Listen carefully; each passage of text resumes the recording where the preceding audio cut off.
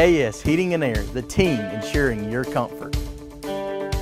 It's the Weather Xtreme video, the morning edition. This is for Monday, May 4th. I'm James Spann.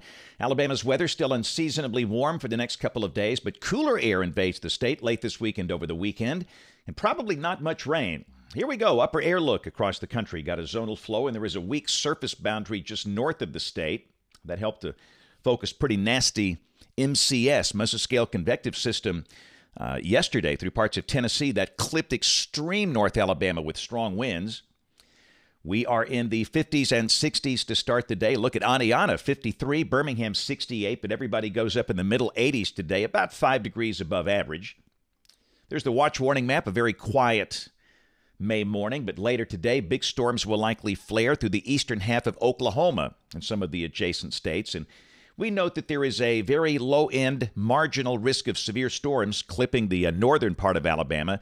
And uh, again, I think what's going to happen today is not one of these organized bow echoes, but more isolated storms that pop. And isolated is the key word. A lot of places up there won't see a drop of rain today, but where it does rain, if a storm can get going, it could produce strong gusty winds.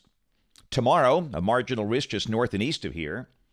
And day three, cool air covers much of the country and no severe weather expected. Here's the rain for the next seven days. Heavier totals a bit north of here. For Alabama, one half to one inch for the north, under a quarter inch for the south. Hardly anything at all for the Gulf Coast. So, model fans, let's go. Here's the GFS. This is the 06Z run, 4 o'clock today, troughing over the northeast, a zonal flow here. And again, a weak surface boundary to the north, and that could trigger a few isolated showers. Now, this is the high res NAM showing just nothing but very small showers. But if a storm can get going, it might produce gusty winds, but for most of the state today, just warm and dry. Uh, this is the instability today. And again, the numbers are pretty high, but there's no dynamic forcing for rain. Uh, kind of like in the summer, every day we're in the 90s and those CAPE values are awfully high, but we only have the pop up afternoon storms. This is tomorrow. Got a surface low that's over eastern Kentucky with a trailing front, and that will likely bring a band of showers in here late tomorrow and tomorrow night. This is tomorrow night, just after midnight. And again, limited moisture, not much dynamic forcing, rain amounts light and spotty. And then Wednesday, look at the trough over the eastern half of the country. We're in a cooler air mass, the high dropping into the low 70s. That's a good 8 degrees below average. Pretty good north breeze. The sky will be sunny. Thursday will be in the 40s to start the day. The high will be in the low 70s. And this is Friday, another front coming down the pike, and that will bring the chance of some light rain. Uh, highs close to 70, mostly cloudy. And again, no severe weather. Rain amounts not that great. And then Saturday, even cooler air drops in.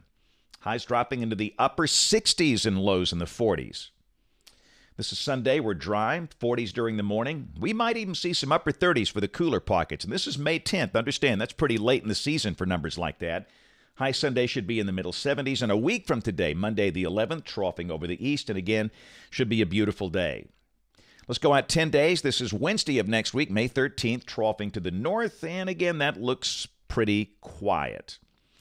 Here's the rain for Birmingham off the European ensemble, the mean between 1 and 2 inches for the next 15 days. Really not that much. And yeah, after 87 today, you can see highs dropping off steadily, reaching the upper 60s on Saturday, then back in the 70s for a pretty good part of next week. But today will most likely be the warmest day out of the next seven to 10 days. That's it for the Weather Xtreme video this morning. We'll have notes in the blog. Next video here by 4 o'clock this afternoon. If you can't catch us this evening on ABC 3340 News at 4, 5, 6, and 10 o'clock. Thanks for watching. Have a great day and God bless.